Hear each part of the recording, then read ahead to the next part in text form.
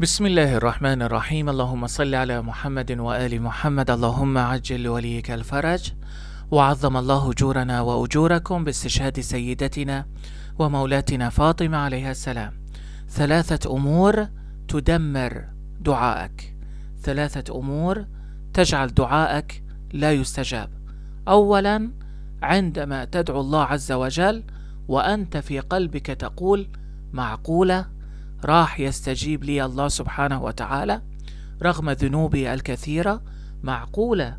الله سبحانه وتعالى في نفس اليوم في هذه الليلة سوف يستجيب لي. معقولة الله سبحانه وتعالى سوف يحقق لي ما أريد رغم أنه كبير رغم أن الأمر آه، شبه مستحيل. سوء الظن بالله عز وجل يدمر دعاءك بالكامل. عندما تسيء الظن بقدرة الله عز وجل. عندما تقول بأن الله سبحانه وتعالى كيف يستجيب لي رغم ذنوبي الكبيرة؟ ومتى الله سبحانه وتعالى قد رزقك على مستوى ذنوبك؟ متى الله سبحانه وتعالى عافاك على مستوى ذنوبك؟ متى الله سبحانه وتعالى أسعدك على مستوى ذنوبك؟ لو أن الله سبحانه وتعالى أخذ أهل الأرض بذنوبهم لما أبقى منهم أحدا لما أبقى منهم أحدا ولكن الله سبحانه وتعالى يرزق المؤمن والكافر. رغم أن الكافر لا يؤمن بالله كثير السيئات والمعاصي لله. الله سبحانه وتعالى يسعد المؤمن والكافر. رغم أن الكافر لا يؤمن بالله. الله سبحانه وتعالى يشافي ويعافي المؤمن والكافر. من باب ماذا؟ يا من يعطي من سأله ومن لم يسأله يا من يعطي من عرفه ومن لم يعرف تحننا وجودا وكرما منه عز وجل. الله كريم. لطالما لدينا أولاد ربما لا يحترم أباه لا يحترم أباه ولكن أباه تجده ماذا؟ يعطيه مصروفا ويأتي إليه بالطعام وإذا برد يشتري له الملابس وإذا تمرض أخذه للمستشفى. كذلك الله سبحانه وتعالى الآب لا يأخذ بذنوب ولده معه. الآب يص يعني يصفح عن ولده يسامح ولده. لماذا تأخذ ولدك؟ أليس عند الصباح ولدك؟ يعني أليس عند الصباح؟ ولدك قد آذاك ولدك لم يحترمك آه، لم يحترمك عفوا ولدك لم يقدرك أبدا؟ لا. هذا شيء هذا شيء ومرضه شيء آخر ورزقه وطعامه شيء آخر ملابسه شيء آخر. كذلك الله سبحانه وتعالى. ذنبك شيء ورزقك شيء آخر. ذنبك شيء وعافيتك شيء آخر. ذنبك شيء وكذلك دعاؤك شيء آخر. أما أنك تقول بأن هذا الأمر ربما لا يستطيع الله سبحانه وتعالى أن يفعل حاشا لله. الله سبحانه وتعالى الذي جعل النار بردا وسلاما على إبراهيم وفلق البحر لموسى عليه السلام وأنجى نوح من الطوفان الذي كان على مستوى الأرض والذي هزم الأحزاب لمحمد صلى الله عليه وآله. وأخرج يوسف من الجب وجعله ملكا. ما قيمة ما يعني ما قيمة أمنيتك؟ ما قيمة أمنيتك؟ جاء بعرش بلقيس إلى سليمان كلمح بالبصر. هكذا الله سبحانه وتعالى يستطيع أن يقضي حاجتك بها كلمح بالبصر. ما هي قيمته؟ يعني قيمة أمنيتك أمام هذه الأمور. سوء الظن يدمر الدعاء. سوء الظن يدمر الدعاء. معقول الله سبحانه وتعالى في ليلة وضحاها يستجيب لي؟ نعم الله سبحانه وتعالى يستجيب لك ولكن تحتاج إلى مسألة الإلحاح. هذه القضية الأولى. ثانيا اليأس من رحمة الله عز وجل. يأس.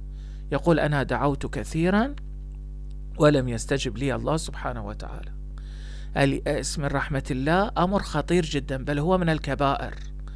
ولا ييأس من روح الله ولا ييأس من رحمة الله إلا القوم الكافرين إلا القوم المشركين الذين يضعون أهواءهم وشياطينهم مع الله عز وجل. الشيطان يجعلك تيأس كي لا تدعو الله عز وجل.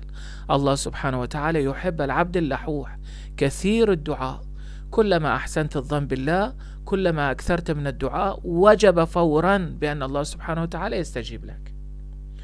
الأمر الثالث هو أنك تعتمد وتتوكل وتثق بغير الله عز وجل. نعم ترفع يديك وتدعو الله عز وجل. نعم أنت تدعو الله في الصلاة في غير الصلاة تقرأ وتدعو وتذكر وتقرأ أوراد وأذكار إلى غير ذلك. ولكن في قلبك هناك اعتماد على أشخاص آخرين. أو أنك ماذا؟ تحاول أن تفكر في بعض الأحيان كيف أجد حلا لمشكلتي. ألم تتوكل على الله؟ اتركها على الله عز وجل. الله سبحانه وتعالى يقول لك ألم تترك هذا الأمر؟ بأن أنا أتوكله بأن أنا أفعله لك بأن أنا أقضيه لك. إذا لماذا تفكر بعد؟ ثقة ماكو؟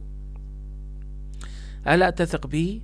هل تثق بفلان؟ هل تثق أنت بتفكيرك؟ لقد عجزت فاترك الأمر إلي إذا. ما عليك إلا الدعاء ما علي إلا الإجابة. هذا الأمر أيضا يدمر الدعاء ويجعله لا يستجاب. من وثق بالله أراه السرور من توكل على الله كفاه الأمور. فما يحتاج بعد أنت كالشخص الذي قد فوضته وهو محامي. لديك مشكلة وفوضيت محامي وكلت محامي. يصير أنت كل ساعة تقول له فكرة معينة وطريقة معينة المحامي يقول لك بعد هذا مو شغلك.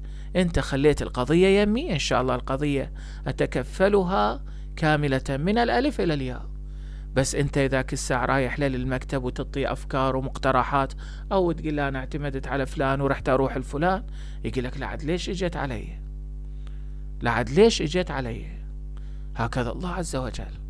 فاذا هذه الأمور الثلاثة وهو سوء الظن بالله عز وجل واليأس من رحمة الله عز وجل وترك الدعاء وكذلك التوكل على غير الله التوكل على نفسك. هذه الأمور الثلاثة تدمر الدعاء تماما كما يقول علماؤنا الأعلام ومنهم آية الله السيد حسين تستغيب. نسأل الله سبحانه وتعالى أن يوفقنا دائما وأبدا أن لا نيأس من روح الله عز وجل. كذلك أن نثق بالله سبحانه وتعالى. كذلك أن نكون من الذين يحسنون الظن بالله عز وجل. ما أحسن عبد ظنه بالله عز وجل إلا وأحسن الله ظنه أيضا به يعني. إلا وكان الله عند حسن ظن عبده به. وكذلك الإنسان أن يحسن الله الله سبحانه وتعالى يقول إن أحسن بي خيرا فخير. وإن وإن وظن بي الشر فالشر راجع عليه. فأنا خير من خير يعني أنا خير في خير يعني. نسأل الله أن يوفقنا لهذه المعاني الثلاثة. وإن شاء الله من الآن وصاعدا أرفع مستوى وسقف التوكل على الله عز وجل. وامحي من حياتك مسألة اليأس من رحمة الله وأن تترك الدعاء. وكذلك مسألة سوء الظن بالله. برنامج صباحات الأيامين محمد خادم في مرقد الحسين بن علي عليه السلام.